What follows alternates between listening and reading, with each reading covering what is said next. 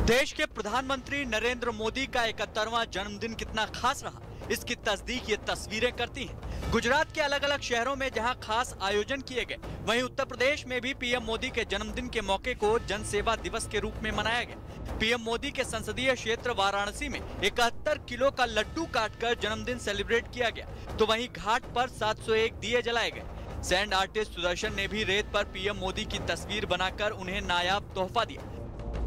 देश की राजधानी दिल्ली में पीएम मोदी के जन्मदिन के खास मौके पर लोगों के बीच जाकर टॉफी और चॉकलेट बांटी गई। इस दौरान पोस्ट कार्ड और ग्रीटिंग्स बांटकर बेहतर काम के लिए लोगों से सुझाव भी मांगा गया। कार्यक्रम हो रहे हैं। राजधानी दिल्ली में भी हम देख रहे हैं कि पूर्वी दिल्ली के इलाके में चॉकलेट और टॉफी वितरण का कार्यक्रम हो रहा है। इसके अलावा लोगों को इस तरह के पोस्ट कार्ड दिए जा रहे हैं जिसमें कि शुभकामनाएँ हैं। साथ ही साथ इसमें लिखा हुआ है कि आप अगर दिल्ली की भलाई के लिए दिल्ली की बेहतरी के लिए कोई संदेश देना चाहते हैं तो वो भी इस पर लिख करके दें। पोस्ट कार्ड जो हम दे रहे हैं उस पर मोदी जी को शुभकामनाएँ हैं और इसके साथ साथ लोगों से सुझाव मांगे जा रहे हैं। यूपी में पीएम मोदी के जन्मदिन को सेवा समर्पण कार्यक्रम के ज़रिए मनाया गया। इस दौरान सीएम योगी आदित्यनाथ की अगुवाई में लखनऊ के राजकीय बाल बालगृह में बच्चों के बीच मिठाई और स्कूल बैग बांटे गए।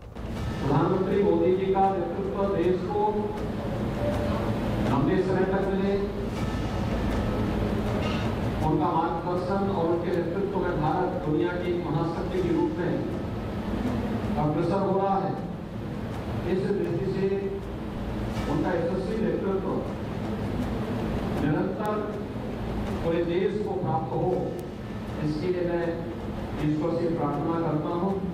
पटना में पीएम मोदी के जन्मदिन के खास मौके पर बीजेपी कार्यालय में एक प्रदर्शनी का आयोजन किया गया। इस प्रदर्शनी के ज़रिए ये दिखाने की कोशिश की गई कि कैसे पीएम मोदी ने बचपन से लेकर प्रधानमंत्री पद तक अपने सफ़र को तय किया। बचपन से? सब कहते हैं ना कि अभी सोच रहे हैं, अभी कर रहे हैं, वोट के लिए कर रहे हैं। तो ये प्रदर्शनी इसलिए लगाई गई है कि आप आकर देखें, जो लोग ये कहते हैं कि वो आज कर रहे हैं उनके लिए भी ये प्रदर्शनी है कि वो आकर देखे कि बचपन से माननीय प्रधानमंत्री जी की सोच यही थी।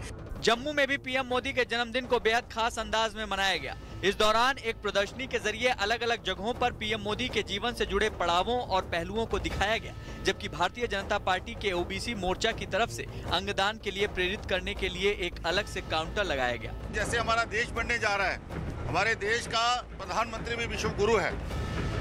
तो आज उस पर ये यहाँ प्रदर्शनी लगी है ताकि आने वाले हब, हर जो हमारा गरीब भाई बहन है, जिनके लिए वो इतनी सेवा कर रहे हैं, पूरा अपना उन्होंने तन मन समर्पण कर रखा है इस माँ माँ भारती के लिए।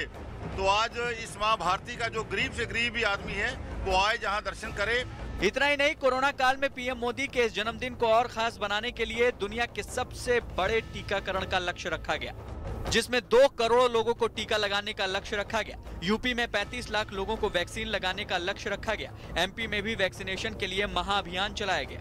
पूरे देश में उनका जन्मदिन उत्साह के साथ मन रहा है। देश की जनता की जान बचाने के लिए नरेंद्र मोदी जी ने जो मुफ़्त में कोरोना की वैक्सीन का उपहार जनता को दिया है, उस वैक्सीन को लगवाने का महाअभियान भी हम मध्य प्रदेश में आज चला रहे हैं।